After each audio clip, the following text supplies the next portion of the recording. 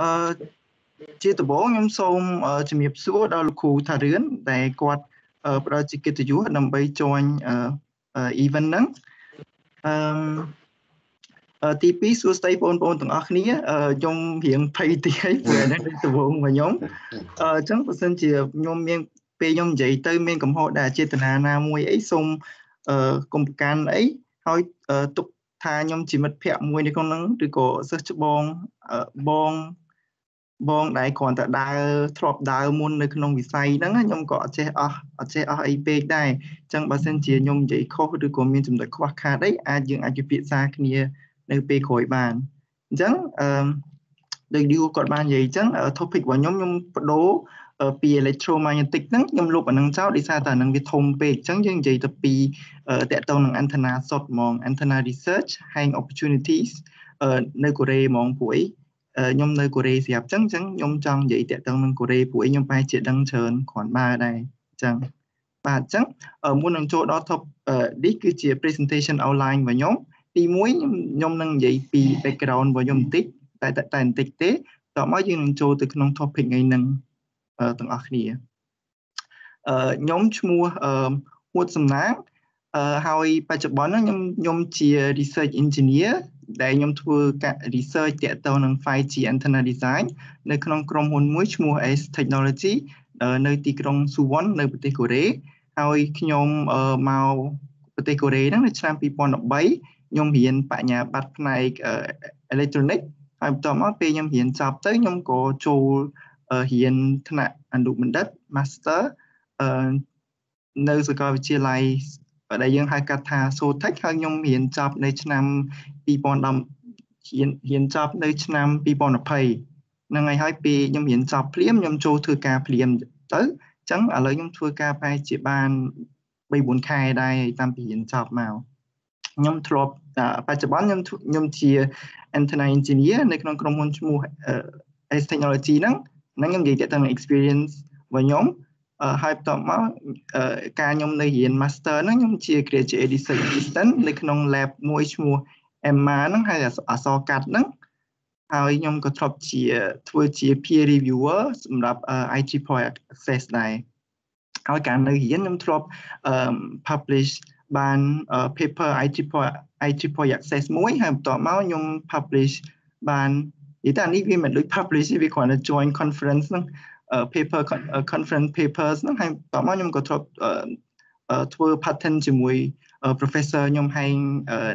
អ្នកធ្វើការមួយខ្ញុំម្នាក់ទៀតបានមួយដែរហើយខ្ញុំខ្ញុំមានចំណាប់អារម្មណ៍ research interest របស់ខ្ញុំហ្នឹងខ្ញុំចូលខ្ញុំចាប់អារម្មណ៍ទៅលើ implantable antenna design ហើយឥឡូវ design ខ្ញុំធ្វើការតាក់ទងនឹង 5G ហើយអានឹងវាជា trending topic ផងអញ្ចឹងខ្ញុំក៏មានការចាប់អារម្មណ៍ខ្លាំងចំពោះ 5G antenna design ហើយ antenna theory ជារួម បន្ទាប់មក transmission line design អញ្ចឹងយើងចូលទៅក្នុងយើងចាប់ផ្ដើមចូលទៅ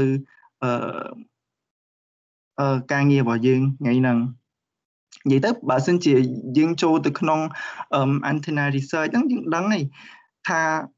មុនដំបូងយើងត្រូវដឹងឲ្យថា antenna ហ្នឹងជាអីហើយ antenna ហ្នឹងវាវាធ្វើការវាធ្វើការដោយរបៀបម៉េចម៉េចបាន មិនបានយើងត្រូវការ antenna ហ្នឹងនិយាយទៅ antenna ហ្នឹងវាសំខាន់យើងធ្លាប់ឮពាក្យ wireless communication ច្រើនណាតែដូចការខ្ញុំការខ្ញុំរៀននៅវិទ្យាល័យកាលមុនកាលមុនអញ្ចឹងខ្ញុំអត់ខ្ញុំធ្លាប់តែឮពាក្យហ្នឹងប៉ុន្តែខ្ញុំចេះតែសម័យថា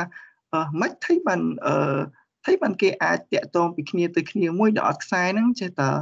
ចេះតែសម័យចេះតែគិតទៅវាគិតអត់ចាញ់វាសម័យអត់ឃើញអញ្ចឹងណាអញ្ចឹងពេលខ្ញុំរៀនទៅខ្ញុំបានដឹងដូច និយាយទៅ wireless communication ហ្នឹងវាអាចយើងអាចតាក់ទងពីគ្នាទៅគ្នាមួយបានហ្នឹងដោយសារ antenna នឹងពាក្យខ្មែរយើងយើងហៅថាអង្តែននឹងដោយសារតែវាជាភ្នាក់ងារមួយដែលវាជា interface មួយសម្រាប់យើងហ្នឹងឲ្យយើងបញ្ជូន signal របស់យើងពីម្ខាងហ្នឹងទៅឲ្យម្ខាងទៀតដែលគេដើម្បីទទួល signal ដើម្បីយើងនិយាយគ្នាបានអញ្ចឹងតែទៅដល់ដល់ឡៃហ្នឹងយើងអាចសួរខ្លួនឯងទៀតថាថៃបានហេតុអ្វីបានជា antenna អាចធ្វើចឹងបាន និយាយទៅគឺទាំងអស់គ្នាប្រហែលជាលឺឯងទោះបីជាអឺมันបានសិក្សាផ្នែកនឹងកាមុនច្រើនក៏ប្រហែលជាលឺដែរ electromagnetic ហ្នឹងរលក electromagnetic ហ្នឹងដូចយើងបានឃើញនៅក្នុងនៅក្នុងនេះចឹងតែ electromagnetic ហ្នឹងវាមាន spectrum របស់វាវាមានច្រើនដូចខ្ញុំបានសរសេរនៅនេះចឹង spectrum របស់វាវាចាប់ផ្ដើមពីពីខាងខមមួយអែកហ្នឹងទៅលើ10សេគុណ24 GHz ហ្នឹងទៀតអញ្ចឹងតែសម្រាប់ antenna ហ្នឹងយើងធ្វើការសិក្សាទៅលើត radio wave វិញអញ្ចឹងថារលករលកវិទ្យុហ្នឹងតែប៉ុណ្្នឹងឯងព្រួយ antenna វាធ្វើការនៅលើរលកហ្នឹងអីដែលយើងពិភាក្សាអីដែលយើងធ្វើបច្ចុប្បន្នហ្នឹងដល់ពេលបើសិនជាយើងមើលទៅអឺនិយាយទៅរលកវិទ្យុហ្នឹងវាចាប់ផ្ដើមពី3គីឡូអឺ 3 kHz ទៅ300 GHz ប៉ុន្តែ នៅក្នុងអា radio wave ហ្នឹងទៀតវាមានអឺវាមាន microwave មួយទៀត microwave ហ្នឹងវាគ្រាន់តែជា upper band នៅក្នុង radio wave ហ្នឹងឯងវាចាប់ផ្ដើមពី300 MHz ហ្នឹងទៅ300 GHz ហើយអឺបែរជាអ្នកទាំងអស់គ្នាធ្លាប់ឮហើយអា microwave microwave ហ្នឹងអញ្ចឹងអឺ mobile communication ដែលយើងប្រើរាល់ថ្ងៃពីចាប់ផ្ដើមពី 1G ទៅរហូតដល់ 5G ហើយ 6G 7G ទៅខាងក្រោយទៀតហ្នឹងគឺវាប្រើនៅក្នុង spectrum ហ្នឹងនៅក្នុង band ហ្នឹងអញ្ចឹងអឺអឺចឹងយើងបកមក electromagnetic យើងតិចវិញ electromagnetic ហ្នឹងដូចយើងឃើញ electromagnetic ហ្នឹងវាវាជាដលកមួយដែលអាចធ្វើដំណើរបាននៅក្នុងលំហអាកាសដូចឥឡូវបើសិនជាយើងមើលនៅក្នុងអា band ក្រោមក្រោមនេះ radio microwave អីហ្នឹងយើងមើលអត់ឃើញទេអញ្ចឹងយើងប៉ុន្តែអឺអីដែលយើងមើលអាចមើលឃើញរាល់ថ្ងៃឃើញរាល់ថ្ងៃហ្មងគឺពលឺព្រះអាទិត្យអាហ្នឹងអាហ្នឹងក៏ជាអឺ microwave អាហ្នឹងក៏ជា electromagnetic wave ដែរតាមតាមពិតដែលយើងមើលឃើញអញ្ចឹងវាវាធ្វើដំណើរបើសិនជាវាធ្វើដំណើរទេបើបើសិនជាវាមិនធ្វើដំណើរទេយើងក៏មើលមិនឃើញពលឺព្រះអាទិត្យដែលចាំងពីព្រះអាទិត្យមកដល់ភពផែនដីយើងដែរនិយាយទៅ ដោយសារវាធ្វើដំណើរអញ្ចឹងវាអាចធ្វើដំណើរបានអញ្ចឹងអញ្ចឹងអា microwave radio wave ហ្នឹងវាដូចតែគ្នាវាធ្វើដំណើរដែរតែគ្រាន់តែថាយើងមើលវាអត់ឃើញអញ្ចឹងគឺ antenna ហ្នឹងវាជាភ្នាក់ងារមួយដើម្បីបញ្ជូនអា electromagnetic wave ហ្នឹងពីឧទាហរណ៍យើងជាអ្នក transmit ហើយអញ្ចឹងបញ្ជូនមួយទៀតទៅទៅ receiver ទៅគេខាងហ្នឹងអញ្ចឹងសង្ឃឹមថាអាហ្នឹងជា background តិចតួចតាក់ទងនឹងថាតើ antenna ហ្នឹងជាជាអ្វីអឺហើយវា ដំណើរការដោយរបៀបម៉េចវាវាវាប្រើអីចឹងដូចអ្នកទាំងអស់គ្នាឃើញនៅក្នុងរូបនេះហ្នឹងហ្នឹងអាហ្នឹងគឺជារបៀបដែល antenna វា radiate ហ្នឹងបាទចឹងតើ antenna ហ្នឹងវាប្រើនៅក្នុងអីគេខ្លះអឺឡៃហ្នឹងប្រហែលជានិយាយទៅបន្តិចទេព្រោះអីវាយើងយើងគ្រាន់តែដឹងដឹងទៅព្រោះ ចឹង antenna ហ្នឹងវាប្រើនៅក្នុង application ច្រើនវានៅក្នុង tele telecommunication ដូចយើងឃើញចឹងវាមានប្រភេទ antenna ច្រើនវាមាន monopole វាមាន dipole វាមាន microcell វាមានវាមាន macrocell វាមាន microcell ប៉ុន្តែគ្រាន់តែ monopole dipole ហ្នឹងវាវាជាវាជារបៀប antenna device antenna ដូចយើងឃើញចឹងថាអឺអឺ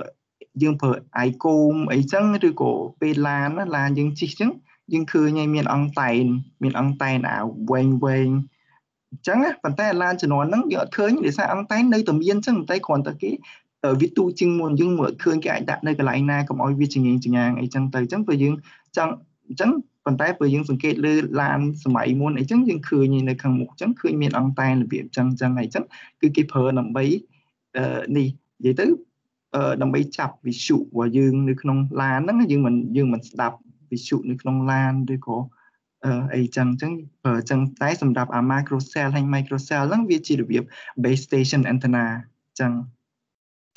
ហើយហ្នឹងហើយយើងយើងប្រើវាសម្រាប់ចឹង base station antenna ហ្នឹងក៏ក៏ចឹងដែរយើងប្រើវាដើម្បី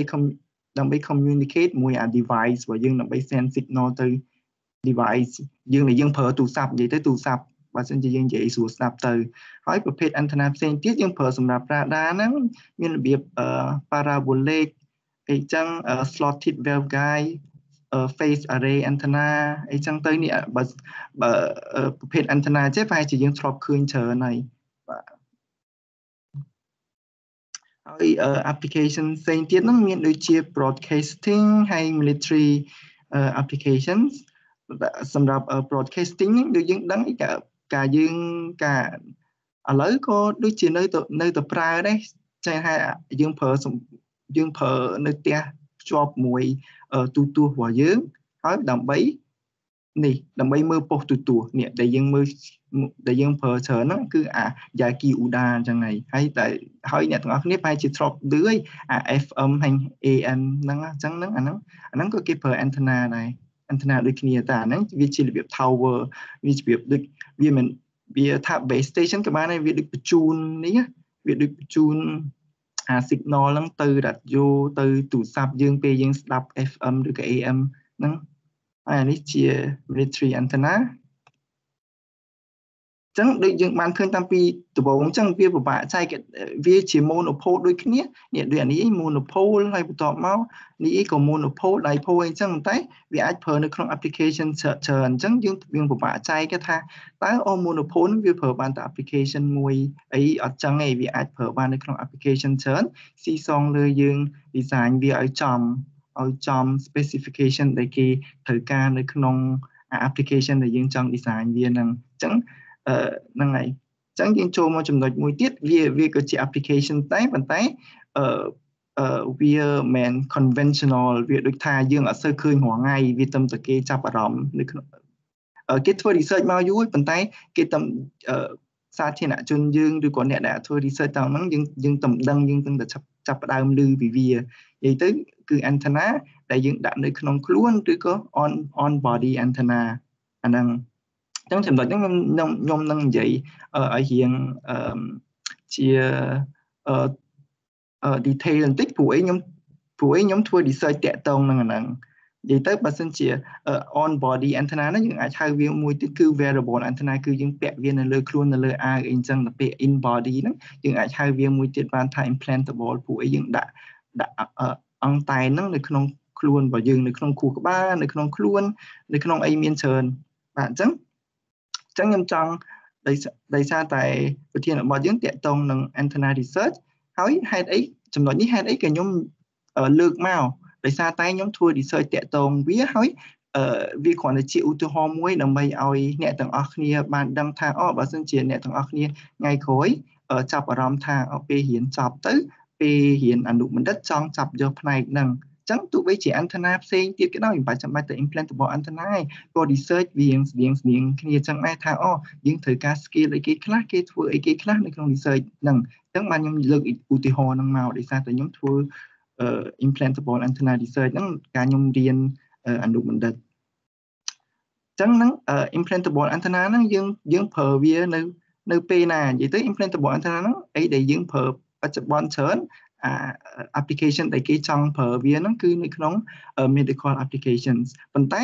អាហ្នឹងអាហ្នឹងចាំតិចទៀតខ្ញុំនឹងនិយាយប៉ុន្តែអ្នកទាំងអស់គ្នាបានឃើញលោកម្នាក់នេះនៅក្នុង BBC News ដោយសារតែបែរជាអ្នកទាំងអស់គ្នាធ្លាប់ឃើញព័ត៌មានហ្នឹងហើយដោយសារតែគាត់អាហ្នឹងក៏ជារបៀប implantable antenna ដែរគាត់គឺ color blind និយាយទៅគាត់មើលឃើញពណ៌ហើយពណ៌អីក៏គាត់មើលដឹងដែរ ប៉ុន្តែតាមរយៈការជួយពីអង្គតែនដែលគាត់បានដាក់នៅក្នុងហ្នឹងគឺគាត់អាចមើលដឹងពណ៌ថាពណ៌នេះជាពណ៌អីពណ៌អីកំពិតខ្ញុំភ្នែកគាត់មើលអត់ឃើញទេប៉ុន្តែគាត់ដឹងភ្នែកគាត់មើលអត់ឃើញជាពណ៌ក្រហមឬក៏ពណ៌ខៀវអីដូចយើងទេប៉ុន្តែគាត់គាត់ខួរក្បាលគាត់ដឹងថាហ្នឹងជាពណ៌អីប៉ុន្តែភ្នែកគាត់នៅតែអត់ឃើញទេព្រោះអីអង្គតែហ្នឹងវាគ្រាន់តែ communicate ពីអាខាងក្រៅហ្នឹងទៅក្នុងខួរក្បាលរបស់របស់គាត់ហ្នឹងតែគាត់នៅតែអត់ឃើញទៅដែរ ចឹងឥឡូវយើងវិលមក implantable antenna ដែលខ្ញុំធ្វើ research វិញគឺ implantable antenna ហ្នឹងគឺយើងដាក់នៅក្នុងខួរក្បាលរបស់យើងហើយបន្ទាប់មកបានវាបញ្ជូនអា signal ហ្នឹងទៅក្នុង smartphone របស់យើងអញ្ចឹងដែលយើងប្រើរាល់ថ្ងៃតាមរយៈ Bluetooth ឬក៏តាមតាមរយៈអីចឹងទៅហើយបន្ទាប់មកបានអាហ្នឹងវាចូលទៅក្នុង cloud ព័ត៌មានទាំងអស់ហ្នឹងចូលទៅក្នុង cloud អីចឹងទៅបាន doctor របស់យើងឬក៏ nurse អីចឹងគាត់គ្រាន់តែ access ទៅក្នុង cloud ហ្នឹងទៅគាត់ដឹង data អី តាក់ទង update អីតាក់ទងនឹងអ្នកជំងឺហ្នឹងហើយអឺអឺ doctor ហ្នឹងឬក៏ nurse ហ្នឹងមិនចាំបាច់ជិះទៅដល់ផ្ទះអ្នកហ្នឹងហើយឬក៏អ្នកហ្នឹងមិនចាំបាច់ជិះមកមន្ទីរពេទ្យអីចឹងនាំទៅខាតពេលក្នុងករណីមន្ទីរពេទ្យឆ្ងាយទោះបីជាមន្ទីរពេទ្យចិត្តក៏ក៏វាអាចស្រួលដែរបើមិនជាយើងអាចមើលខ្លួនឯងពិនិត្យខ្លួនឯងបាននៅក្នុងផ្ទះអីចឹងបើចាំបាច់ទៅជួបពេទ្យអីចឹងអាហ្នឹងគឺស្រួលដែរអញ្ចឹងតោះមកបើមិនជាយើងអឺ implantable antenna ហ្នឹងមុនដំបូងយើងត្រូវធ្វើអីគេ បើក្នុងករណីខ្ញុំខ្ញុំ implantable antenna ហ្នឹងខ្ញុំធ្វើខ្ញុំដាក់នៅក្នុងខួរក្បាលអញ្ចឹងមុនដំបូងពេលដែលយើងដាក់នៅក្នុងខួរក្បាលអញ្ចឹងទៅនៅក្នុង software របស់យើងដែលយើងប្រើហ្នឹងព្រោះពេលយើង design antenna យើងត្រូវ design នៅក្នុង software នៅក្នុង simulation software មួយនៅក្នុង lab ខ្ញុំគេប្រើ software មួយដែលគេហៅថា ANSYS AKFSS ប៉ុន្តែអាហ្នឹងមិនមិនជា option តែមួយមិនជាជំរើសតែមួយដែលយើងអាច design antenna បានទេវាមានផ្សេងទៀតដូចជា C CST អីចឹងមានច្រើនអញ្ចឹងពេលយើងទៅធ្វើការទៅវាបើសិនជាកន្លែងធ្វើការខ្លះគេអាចប្រើ CST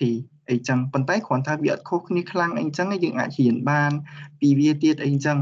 បាទប៉ុន្តែនៅក្នុងកន្លែងធ្វើការនៅក្នុង lab របស់ខ្ញុំហ្នឹងគឺគេប្រើ AKFSS ហ្នឹងអញ្ចឹងដូចយើងបានដឹងហើយថាអឺ research របស់ខ្ញុំហ្នឹងធ្វើ antenna ដាក់នៅក្នុងខួរក្បាលអញ្ចឹងយើង design antenna ហ្នឹងអញ្ចឹង យើងយើងយើង design ខួរក្បាលសិនមុនដំបូងអញ្ចឹងខ្ញុំ design ខួរក្បាលអញ្ចឹងទៅនេះខួរក្បាលរបស់ខ្ញុំ design នៅក្នុង AKFSS បើសិនជាខ្ញុំនិយាយទៀតវែងឆ្ងាយឲ្យចូលទៅក្នុង technical ពេកក៏អ្នកអ្នកទាំងអស់គ្នាចាប់អត់យល់ដែរដល់ពេលអញ្ចឹងយើងដឹងតែប៉ុណ្្នឹងសិនបានហើយថាមុនដំបូងបើសិនជា research របស់យើងធ្វើនៅបើសិនជាគ្រាន់តែយើង design antenna របស់យើងនៅក្នុង free space យើងមិនចាំបាច់ design អាអឺអា environment ហ្នឹងទេប៉ុន្តែបើសិនជាយើងធ្វើនៅក្នុង wearable ឬក៏ implantable យើងត្រូវ design ខ្លួនមនុស្សដៃមនុស្សជើងមនុស្សឬក៏ក្បាលមនុស្សអីចឹងទៅតែដូចនៅក្នុងហ្នឹងគឺខ្ញុំ design ខួរក្បាលរបស់មនុស្សអញ្ចឹងតមកបានចំណុចបន្ទាប់ពេលយើង design ខួរក្បាលរបស់មនុស្សហើយយើងអាចចាប់ផ្ដើម design antenna បានហើយអញ្ចឹងពេលយើង design antenna វាមានចំណុចអឺវាមានចំណុចអឺដែលយើងត្រូវ គិតច្រើនដូចក្នុងករណីខ្ញុំហ្នឹង implantable antenna នៅក្នុងខួរក្បាលហ្នឹងអញ្ចឹងខ្ញុំត្រូវធ្វើម៉េចដើម្បីឲ្យ antenna ហ្នឹងកាន់តែតូចបន្ទាប់មកបន្ទាប់មកយើងត្រូវដាក់អីគេពីលើវាទៀតព្រោះអីយើងដឹងស្រាប់ហើយកាលណាដូចអង្តែនដូចជាគ្រឿងអេឡិចត្រូនិកទូចទូចយើងអញ្ចឹងដែលយើងប្រើរាល់ថ្ងៃក៏អញ្ចឹងដែរបើអាបើសិនជាអាចឆក់ខ្ញុំអត់និយាយអាហ្នឹងឯងដែលដែលអាចគ្រោះថ្នាក់ឲ្យមនុស្សដូចគ្រឿងធម្មតាអីចឹងបើសិនយើងដាក់ដៃទៅលើវាទៅយើងមិន short circuit វាមានន័យថាវាលែងដើរហើយ ចឹងអាហ្នឹងវាដូចគ្នាដែរបើសិនជាយើងដាក់តអង្តែនហ្នឹងទៅក្នុងខួរក្បាលយើងហ្មងវាមិនដើរព្រោះវាប៉ះមួយសេរីរាង្គរបស់ខ្លួនមនុស្សរបស់យើងហ្នឹងឥឡូវយើងអត់និយាយថាវាគ្រោះថ្នាក់អត់ទេយើងកុំអានិយាយអាហ្នឹង100%វាដឹងតែគ្រោះថ្នាក់ឯងតែគ្រាន់ថាបើអន្តនាយើងអត់ដើរផងយើងធ្វើវាធ្វើយើងធ្វើវាដើម្បីអីអញ្ចឹងបានថាក្នុងក្នុងករណីពួក implantable antenna ហ្នឹងយើងត្រូវស្រូបវាដូចស្រូបជ័រស្រូបអីចឹងណាកុំឲ្យវា នេះកុំឲ្យវាឆ្លងភ្លើងហ្នឹងឯងនិយាយអីសួរសាប់កុំឲ្យវាឆ្លងភ្លើងមួយអឺខួរក្បាលរបស់យើងសេរីរាង្គរបស់មនុស្សយើងដើម្បីកុំឲ្យវាប៉ះហ្នឹងអាហ្នឹងយើងប្រើ PCB ដែរក្នុងករណីហ្នឹងអញ្ចឹងយើងអាចយើងអាចកណនាមកថា frequency យើងប៉ុណ្ណាយើងអាចឲ្យ frequency ប៉ុណ្ណាហើយអង្តែងយើងទំហំប៉ុណ្ណាហើយបន្ទាប់មកបើយើងចាប់ផ្ដើមអឺ design ហ្នឹងហើយបន្ទាប់ពីយើង design បានចឹងហើយ100%វាអត់ទាន់ចូលនៅក្នុងនេះទេវាវាអត់ទាន់ចូលនៅក្នុង frequency ដែលយើងចង់បានទេអញ្ចឹងយើង simulate វាតទៀតទៅថាយើងចង់ឲ្យអាទំហំកាលណាទំហំអានេះវាប្រែប្រួលមិនតើតើ frequency នឹងវាប្រែប្រួលមិនអញ្ចឹងយើងមើលតាមនឹងទៅហើយបន្ទាប់មកយើងខំប្រឹងលៃយើងមើលតម្លៃវាច្រើនទៅយើងយើងអាចជ្រើសរើសយកមួយណាដែល ស្ថិតនៅក្នុង frequency ដែលយើងចង់បានដូចក្នុងករណីខ្ញុំអញ្ចឹងខ្ញុំចង់បានអឺនៅក្នុង frequency 2.4អឺ GHz ហ្នឹងដល់ពេលអញ្ចឹងខ្ញុំយក L របស់ខ្ញុំហ្នឹងអា L នេះខ្ញុំយក8.5ទៅហើយបន្ទាប់មកអានេះខ្ញុំអាចជ្រើសរើសតម្លៃណាដែលខ្ញុំចង់បានអីចឹងទៅអាហ្នឹងនៅក្នុងភាសាដែលយើងរៀនអង្គតែហ្នឹងគេហៅវាថា parametric analysis នឹងអញ្ចឹងកាលណាដូចខ្ញុំនិយាយពីអាចំណុចនេះរហូតដល់ ចំណុចនេះអញ្ចឹងយើងយើងធ្វើការតាក់ទងនឹង software simulate simulation នេះប៉ុន្តែបន្ទាប់មកយើងត្រូវ fabricate antenna ហ្នឹងដើម្បីឲ្យដើម្បីយកវាមកតេស្តដល់ពេលអញ្ចឹងក្នុងការចំពោះអ្នកដែលធ្វើ antenna research ហ្នឹង វាអាចមានករណីពីរបើសិនជាយើងអាច design នៅក្នុង simulation ហើយអ្នកខ្លះចឹងយើងអាចផ្ញើវាទៅក្រុមហ៊ុនអីចឹងទៅផ្ញើ design ហ្នឹងទៅក្នុងក្រុមហ៊ុនទៅដើម្បីឲ្យគេ fabricate អីចឹងទៅឲ្យគេអាចផ្ញើមកវិញអីចឹងទៅ តែបើសិនជាក្នុងករណីខ្ញុំខ្ញុំ fabricate ខ្លួនឯងដោយសារតើមានគាត់ post doc ម្នាក់គាត់រៀនមួយខ្ញុំគាត់ធ្វើផ្នែកមួយខ្ញុំអញ្ចឹង antenna គាត់គាត់ fabricate ខ្លួនឯងដែរអញ្ចឹងខ្ញុំរៀនពីគាត់ទៅខ្ញុំ fabricate ខ្លួនឯងអញ្ចឹងបានថាបើសិនជាអឺអឺអ្នកទាំងអស់គ្នាថាស្រឡាញ់ផ្នែក antenna ឬក៏ microwave អីចឹងចឹងយើងត្រូវគិតក្នុងខ្លួនយើងត្រូវគិតក្នុងយើងត្រូវដឹងមុនន័យថាយើងមិនមែនធ្វើទៅការងារ simulate ទេយើងអាច fabricate វាចេញមកហើយយើងអាចតេស្តវាអញ្ចឹងពេលដែលយើងបើ ទោះបីជាពេលខ្លះយើងអាច fabricate មែនដូចខ្ញុំនិយាយមែនអញ្ចឹងថាយើងអាចផ្ញើវាទៅក្នុងក្រុមហ៊ុនឲ្យគេធ្វើវាឲ្យយើងយកមកហើយប៉ុន្តែ100% antenna ហ្នឹងវាអត់ដើរដូចអីដែលយើងបំពឹងទុកទេអញ្ចឹងទោះបីជាយ៉ាងណាក៏យើងនៅតែយកវាមកហើយយើងនៅតែលេងមួយវាអញ្ចឹងយើងកែនេះកែនោះអាហ្នឹងគេហៅ tuning យើងថែមនេះយើង solder ដាក់នេះវាអីចឹងអីចឹងដើម្បីឲ្យវាដើរត្រូវមួយ frequency ដែលយើងចង់បានអញ្ចឹងទោះបីជាយើងមិន fabricate ឬក៏យើង fabricate ក៏យើងមានការងារនឹងមួយដែរ គឺការងារប៉ះពាល់មួយអន្តណាហ្នឹងលេងមួយវាធ្វើមិនអីវាដើរផ្សារវាអីវាហ្នឹងអាហ្នឹងគឺជាអត់ផុតទេនឹងបន្តមកដូចខ្ញុំនិយាយអញ្ចឹងថាដោយសារតើការងាររបស់ខ្ញុំលើសមួយគេមួយទៀតដោយសារតើខ្ញុំអឺអន្តនារបស់ខ្ញុំវាដើរនៅក្នុងខួរក្បាលអញ្ចឹងខួរក្បាលហ្នឹងគឺខ្ញុំនេះទៀតខ្ញុំអឺអឺខ្ញុំ fabricate ទាំងខួរក្បាលហ្នឹងទៀតគេហៅ phantom ហ្នឹងហ្នឹងហើយអញ្ចឹងខ្ញុំធ្វើ research ទៅខ្ញុំក៏បានទិន្នន័យវាចេះមកអញ្ចឹងខ្ញុំក៏ធ្វើវាខ្លួនឯងទៅហើយអានេះគឺជាគ្រាន់តែជា fabrication process របស់ខ្ញុំសម្រាប់ fabricate brain ខួរក្បាលហ្នឹងបន្ទាប់មកខ្ញុំតេស្តខួរក្បាលហ្នឹងទៀតថាតើវាពិតជាមានលក្ខណៈ electrical properties របស់វាហ្នឹងដូចមួយខួរក្បាលរបស់យើងអត់អញ្ចឹងអញ្ចឹងយើងក៏ confirm អាហ្នឹងហើយទៅបន្ទាប់មកយើងក៏ធ្វើ ចុះមកយើងក៏ដាក់ antenna របស់យើងដែលយើងឃើញអញ្ចឹងនេះ antenna prototype ដែលយើងអឺ fabricate មិញហ្នឹងយើងដាក់វានៅក្នុងខួរក្បាលហ្នឹងទៅហើយតមកបានយើងធ្វើ test វាដោយប្រើ network analyzer តដល់ពេលវាបានហើយយើងធ្វើការអឺ compare វាប្រៀបធៀបវាថាតើ measurement ហ្នឹងហើយ simulation ហ្នឹង វាដូចគ្នាអត់វាស្ទៀងគ្នាអត់កាលនោះខ្ញុំថ្មីថ្មីអញ្ចឹងខ្ញុំធ្វើខ្លួនឯងអីខ្លួនឯងអញ្ចឹងអញ្ចឹងខ្ញុំខំប្រឹងធ្វើឲ្យមិនឲ្យទៅវាស្ទៀងគ្នាតែខ្ញុំមិនដឹងថាយើងអាច tune វាបានទេនិយាយទៅកាលនោះខ្ញុំខ្ញុំ tune វាតិចតួចដែរប៉ុន្តែខ្ញុំអត់មានវិធីច្រើននេះខ្ញុំដូចជាដូចដូចអត់តន់អត់តន់មានបបពិសោធន៍អញ្ចឹងគ្រាន់តែកែនេះកែនោះវាតិចតួចអីចឹងទៅតែដល់ពេលឥឡូវយើងយើងមានបបពិសោធន៍មួយឆ្នាំពីរឆ្នាំអីដាក់អញ្ចឹងទៅយើងរៀនចេះច្រើនពីវា ហ្នឹងអញ្ចឹងតែដោយសារពេលហ្នឹងខ្ញុំអត់បានកែច្រើនអីទៅលើអា antenna ដែលខ្ញុំ fabricate ហ្នឹងខ្ញុំចេះគិតថាអូបើសិនជា antenna យើងយើង fabricate មកអញ្ចឹងហើយបើសិនជាយើងដាក់វាឲ្យដើរទៅវាដើរត្រូវមួយអីដែលយើង simulate ហ្នឹងមានន័យថាយើង fabricate ខុសហើយតែកំពិតអត់អញ្ចឹងឯងយើង fabricate អត់អីទេប៉ុន្តែសំខាន់យើងត្រូវដឹងថាយើង fabricate ហើយវាមិនត្រូវ100%វាអាចលំអៀងតិចតួចអឺ ផឹងគេក្រុមហ៊ុនគេ fabricate ឲ្យម៉េះគេនៅមានលំអៀងតិចតួចអីចឹងចឹងទំហំតែយើងធ្វើខ្លួនឯងទៀតវាអាចមានលំអៀងច្រើនអញ្ចឹងមិនថាទោះបីជាវាលំអៀងប៉ុណ្ណាក៏ដោយយើងយកវាមកហើយយើងធូនវាតាមនឹងទៅយើងកែនេះកែនោះទៅដើម្បីឲ្យវាដើរតាម frequency ដែលយើងចង់បាននឹងអត់បានហើយបានយើងយកយកវាទៅធ្វើ measurement នៅក្នុង chamber នឹងដើម្បី តេស្តរក radiation pattern នេះ radiation pattern របស់វាអញ្ចឹងហើយតមកបានយើងធ្វើការធ្វើការវាស់មួយទៀតប៉ុន្តែមិនតែការអានេះយើងវាស់មិនតែមួយ port ទេតែនេះយើងវាស់ two port មានន័យថាគឺយើងចង់តេស្ត communication uh communication performance របស់ antenna ហ្នឹងជាមួយ receiver ហ្នឹងថាវាដើរបានល្អអត់វាអាចបញ្ជូន signal ទៅ receiver antenna របស់យើងហ្នឹងអាចទទួលបានប៉ុណ្ណា អីប៉ុណ្ណាយើងការធ្វើការតេស្តតតងនឹងនឹងអញ្ចឹងបាទអាហ្នឹងក្នុងករណីអឺខ្ញុំនិយាយមកដល់ឥឡូវហ្នឹងគឺយើងនិយាយតកតងនឹង implantable antenna research តែដូចខ្ញុំនិយាយតាំងពីដើមអញ្ចឹងថាវាខុសគ្នាតែតិចតួចទេបើមិនជាយើងអឺធ្វើធ្វើ antenna research ហ្នឹងនៅក្នុងផ្នែកផ្សេងឧទាហរណ៍ថាមិន implantable វាជា wearable ឬក៏វាប្រើទៅនៅក្នុង free space អីចឹងអញ្ចឹងធ្វើការដូចតែគ្នាទេគឺ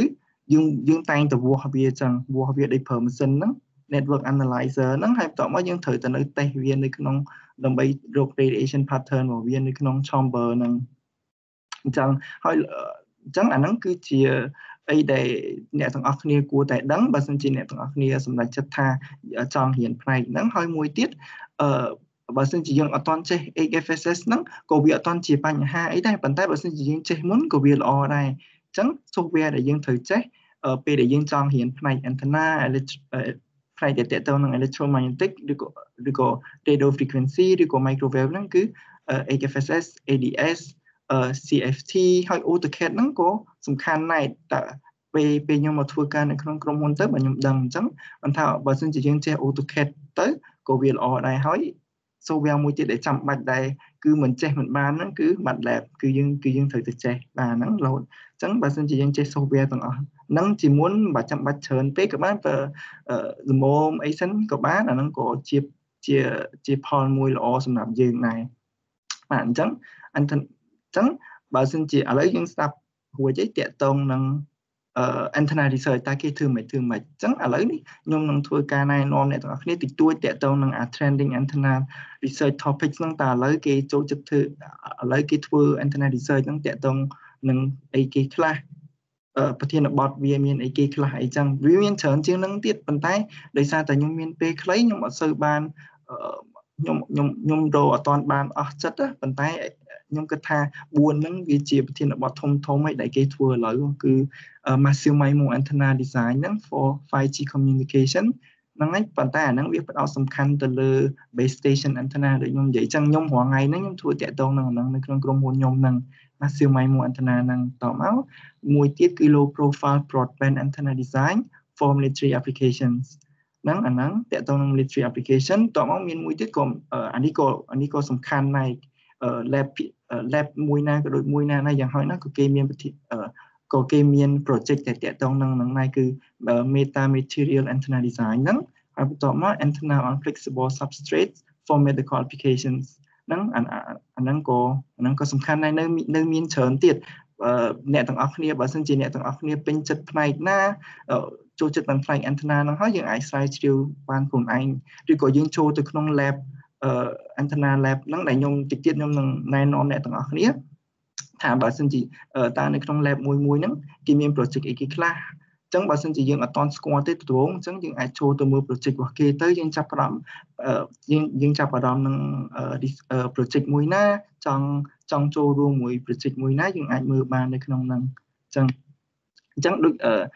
ខ្ញុំដូចជាប្រធានបទយើងនិយាយតាមពីដើមអញ្ចឹងថាយើងនិយាយតាក់ទងនឹង antenna research and opportunities នៅនៅប្រទេសកូរ៉េដល់ពេលអញ្ចឹងយើងនិយាយតាក់ទងនឹង antenna research ចប់ហើយអញ្ចឹងចំណុចចុងក្រោយហ្នឹង ចំណុចចុងក្រោយហ្នឹងគឺខ្ញុំនឹងណែនាំទាំងអស់គ្នាថាបើសិនជាអ្នកទាំងអស់គ្នាពេញចិត្តផ្នែកហ្នឹងយើងចង់មករៀននៅកូរ៉េអញ្ចឹងវាមានឱកាសអីគេខ្លះយើងអាច apply បានទៅ lab ណាខ្លះ lab ដែលខ្ញុំណែនាំទៅអ្នកទាំងអស់គ្នាហ្នឹងគឺ lab